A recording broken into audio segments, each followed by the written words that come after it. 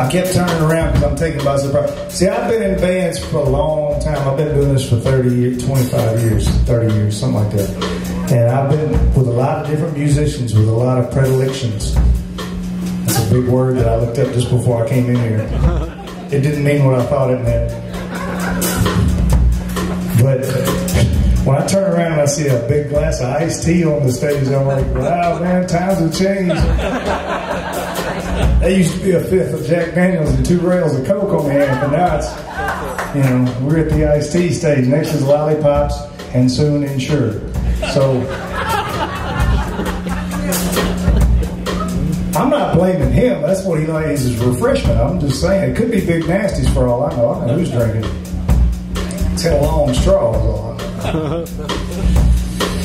Well, I believe little got a black on.